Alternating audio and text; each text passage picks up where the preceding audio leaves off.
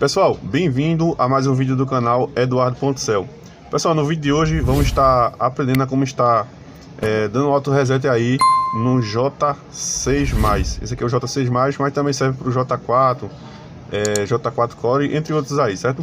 Então é bem fácil aí, tá pessoal? Não esqueça aí de deixar o like, se inscrever no canal, né? E vamos para mais um conteúdo de hoje aí. Pessoal, é, a única diferença aqui é que vai ser que esse aqui está preso é, na senha, né? Esse aqui a gente não sabe a senha, é, o cliente esqueceu, então a gente vai estar tá fazendo a dando um reset nele, né? O procedimento vai ser um pouco diferente. Mas se você sabe a senha, eu quero fazer só para estar formatando seu aparelho, né? Você vai desligar ele, vai apertar volume mais e apertar power, né? Ele vai entrar no modo recovery, né? E aqui vai ser um pouco diferente, né? Como aqui tá assim, não sabe? A gente vai apertar o botão power, aí vai apertar em reiniciar. Quando ele se apagar, a gente vai apertar é, botão de volume mais e segurar o power, né? E vai esperar entrar no modo lá. Então vamos lá. Então aqui eu vou apertar power, vou reiniciar. Quando ele se apagar aqui, eu vou segurar volume mais e menos e power. Segurei volume mais e o power, seguro.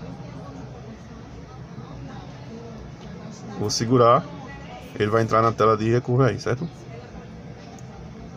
Lembrando, pessoal, se você quer aprender montagem e manutenção de celular, vou deixar aqui na descrição desse vídeo, tá? Um treinamento que ele vai te ensinar do básico ao avançado aí, a você estar aprendendo a consertar aí, fazendo manutenção em celular, certo?